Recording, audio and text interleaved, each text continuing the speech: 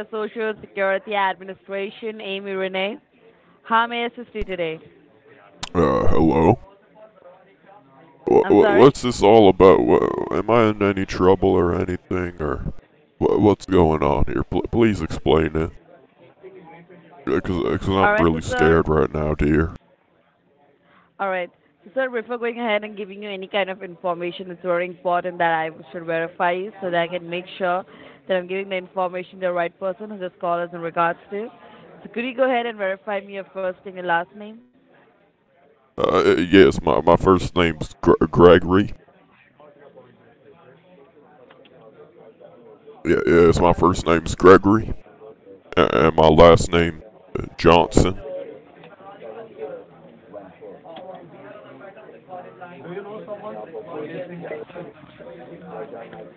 Gregory Johnson, right? Uh, uh, y- yes, dear.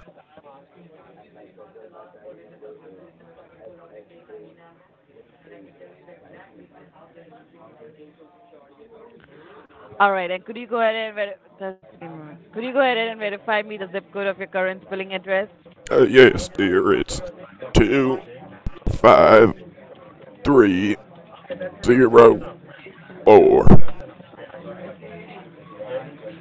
Hold on a moment, Mr. Johnson.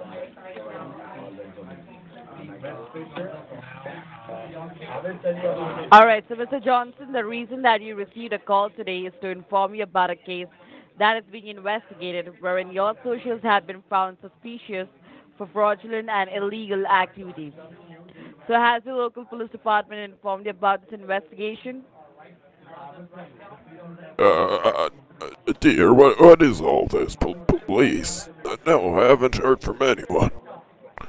Uh, what's going okay, on here? so in that case, so in that case, sir, I want you to grab a piece of paper and a pen, and I want you to make a note of every information that I would be providing you.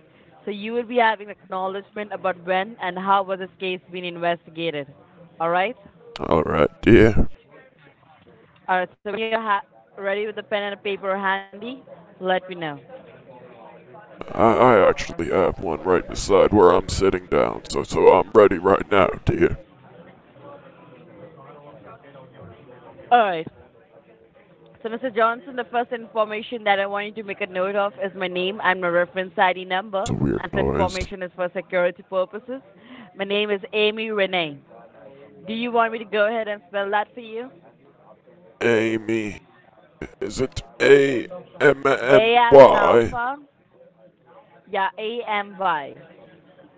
Okay, A M M Y. Yeah, A M Y. And the last name is Renee.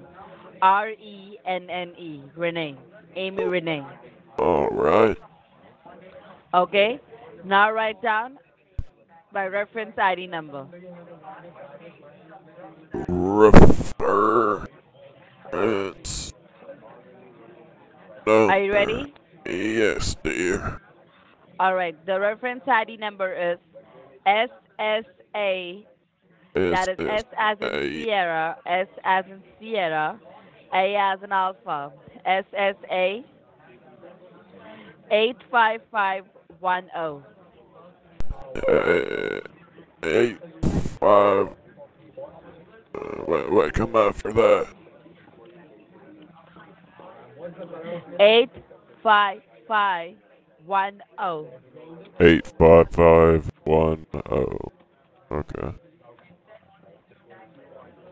All right. Now write down your case ID number. All right. What's my case ID number? All right. Your case ID number is L as in Lima, M as in Mike. L That is M L M O O O O O O three seven seven. Three seven seven. All right. Now, below that, write down your warrant ID number. Warrant ID number.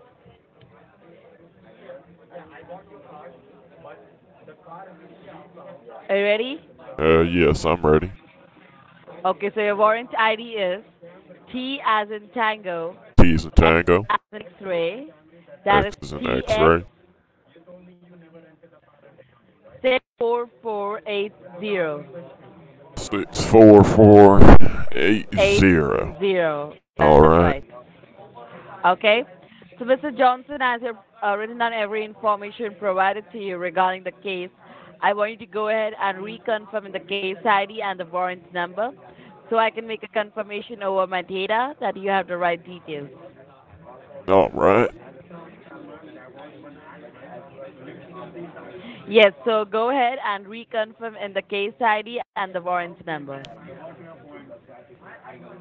Uh, L M O O O three seven seven four nine All right. T X six four four eight. Eight zero. Yeah. All right, so Mr. Johnson, as you down uh, all the details regarding the case, I'm going to go further and read out the affidavit that has been investigated under your social number. So now, before going ahead with this information, I just want to update you that this call has been monitored and recorded by the Social Security Administration. So Uh, it, it's being recorded. How? How? How, do they record the phone? Because this call is being recorded. This is a federal call. I just mean, how do they do it though? I don't know. You can record phone calls. You can record phone calls if they have to be used as a proof. So this call is in regards as a observation and as a part of our job. You ask them anything else other than the script, they of the call, and you know what was the misuse of your personal information. So this call has been recorded so that we have an evidence of it.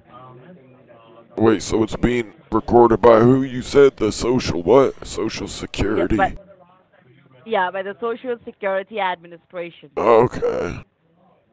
All right. Okay, so Mr. Johnson, I do not want you to interrupt me while I'm reading out the case details. Of course not, dear. I never you would be interrupt given- you. Okay, as you would be given fair enough chances to ask your questions once I'm done. Is that clear? Yes, thank you, dear. All right. So, Mr. Johnson, the investigation started when we found this abandoned car on the south border of Texas. The make and model of this car was a black Toyota Corolla A black what? A black what? Black Toyota Corolla 2010. Toyota Camry.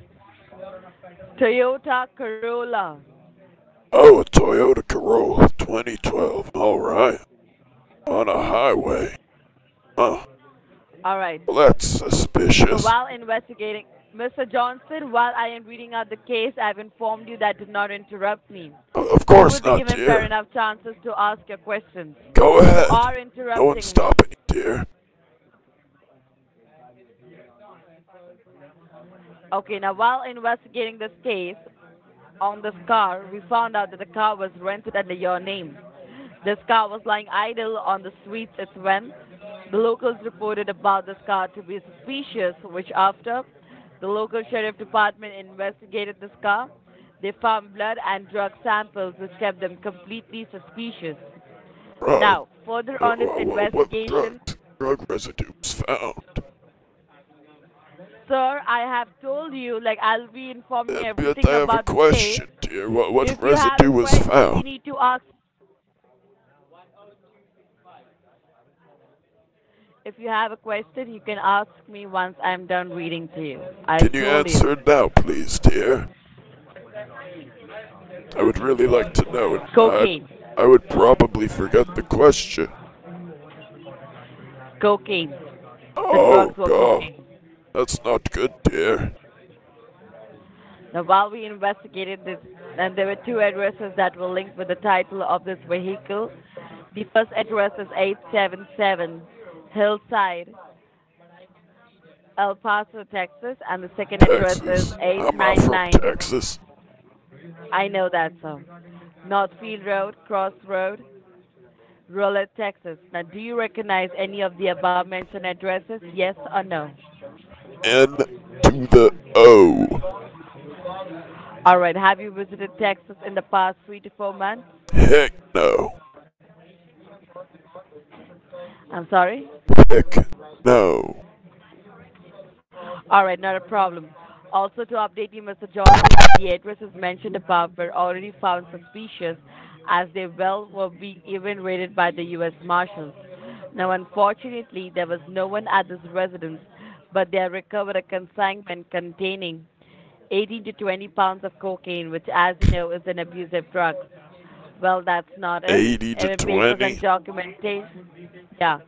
Yeah, Even I papers and guess people usually do say it like that. They wouldn't say like 20 to 80. They would say 80 to 20. Sir, let me Right. complete. Twen- I said 80 to 18 20. to 20 dollars. 80 to 20. One Pounds. and 18 to 20 pounds of cocaine. That's interesting. Also, Alright, continue, dear. Go ahead. sir, do not interrupt me. I have told you so I'm many not interrupting you, dear. You can You continue. are. Do not ask me any questions. Well, I need to know. I, uh, Yes. Yes. you well, you need to know. You can make a note of those questions, and once I'm done reading out the entire alright, case, dear. I'll just go ahead and Thank you. ask me. Go ahead. All right, thank you. Also, there were papers and documentations being investigated so pissed financial institute, such as Wells Fargo, TD Bank, Chase Bank, Bank of America, and the U.S. Bank. Now, when we have verified all the bank accounts, they were all being registered under your name and under your social Oh number. gosh. Yeah, yeah, I'm, I'm with TD. Bank. The question arises while we're investigating on these banking statements with their respective financial institutes, we found more than $200,000 that were being wired from these accounts. Was the TD Bank account number 2533? Sir, I do not need any of your personal information. Well, I'm asking if that, that was the account. That's the last four. There were many various bank accounts, and we do not have the information of. Various. How many under the. TD Bank? There were two bank accounts under the TD Bank. Well, th- those are probably mine then, 'cause I have a checking a- All right. and a Now, savings. Mr. Johnson, I told you, let me finish reading out my case. If you have anything She's so to say mad. Or any information to give or any statements to make, you can tell them once I'm done reading So, out so are those my bank accounts then, sweetheart? And while we investigated all these banking accounts, there were two hundred and two hundred thousand dollars that were being Okay, wired from these accounts locally and internationally. Also, there were twelve debit cards and eight credit cards that were also being found under your name. Oh And that is the only reason there's a case being filed under your name for drug trafficking as well as for money laundering. So, Mr. John, do you have any questions regarding the case that has been informed to you about? Can you just say one thing for me? Yes? Can you say subscribe and like the video? Sorry? Can you just repeat that?